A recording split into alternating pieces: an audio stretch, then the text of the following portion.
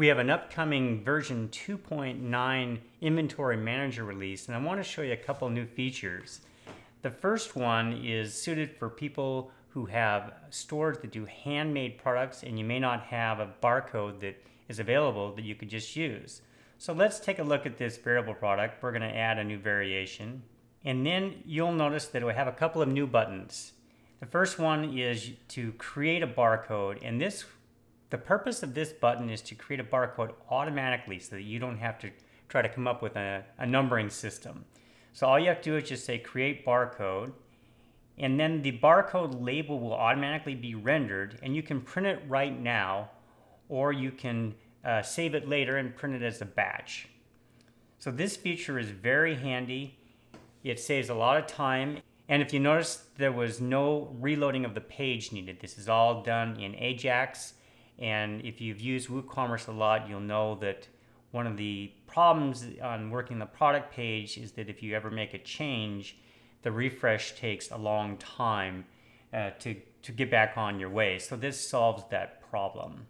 So another feature that I want to show you is the ability to print barcodes either one at a time or in bulk.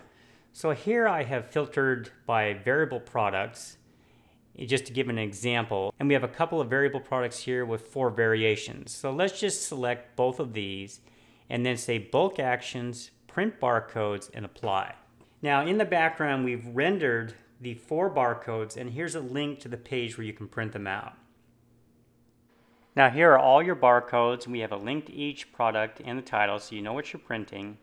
And if you do need to make a change, keep in mind that you'll need to regenerate this list. So just print print all barcodes and then I'm going to select from 1 to 4 because occasionally I've seen an empty barcode at the last one, I'm not sure why, and then you just press print.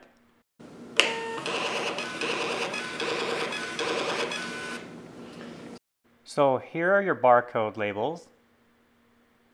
And just take a look at this. These are super clear. They're made from SVG files, so it doesn't matter how big or small you print them. They're always going to be crystal clear, and your barcode scanner will have no problem reading them at all. So I'll put a link for Inventory Manager in the description below, and you can head on over and check out all the features. And if you have any questions, there's the contact link at the bottom page. You can just uh, shoot me an email, and I'll get right back to you. So thanks a lot, and have a good day.